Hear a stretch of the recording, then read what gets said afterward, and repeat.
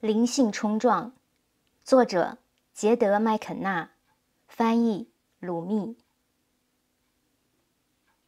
读者来函，亲爱的麦肯纳先生，我读完了你的灵性开悟，不是你想的那样，真是气到想嚼钉子。虽然你以灵性为你的书命名，但它跟灵性毫无关系，而且令人非常困扰。我真希望自己从来没读过。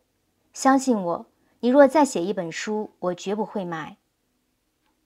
你是否明白，如果大家都照你建议的去做，他们的生活将会大乱。也许你个人没有什么好失去的，但大部分的人都有。你好像活在一个童话世界，觉得所有人都很有钱，而且来去自如，不需要跟老板交代，也不必在意家人、朋友与社会。你好像觉得一个母亲可以丢下子女去追求灵性或什么鬼的，谁会这么做？为了什么？谁会想要这样呢？一点也不实际，根本不可能发生。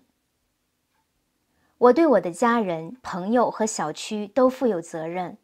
我在一家庇护所当义工，并在小区里筹划捐赠食物给穷人的活动。我是我们教会的女性协会成员。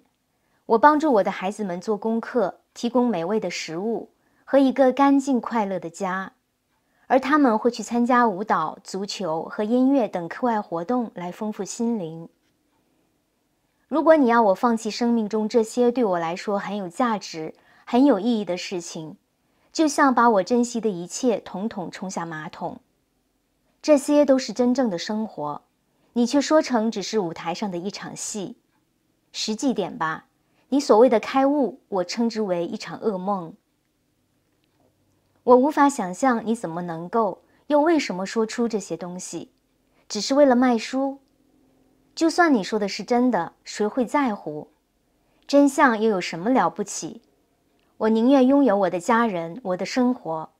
在这里，我相信人人都可以透过仁慈、善意及开放的心胸，得到真正的灵性。你的虚无主义与你的空，知道什么叫做灵性吗？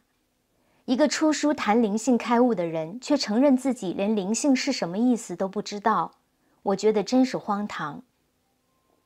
所以，你的书也许可以卖得很好，我不知道为何有人会接受你所谓的灵性，它与生命中美好良善的一切完全相反，与爱、神及家庭相互抵触。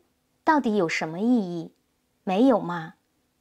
连你自己都说没有意义，但你却呼吁读者放下一切，变成一个彻底的废物。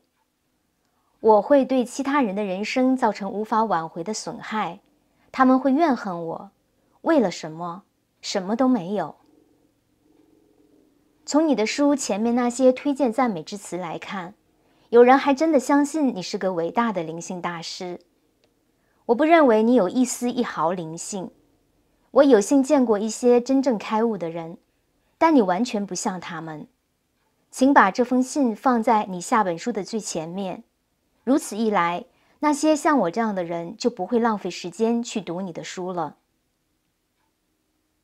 本文得到来信读者允许刊载，但来自华盛顿西雅图的这位读者要求匿名。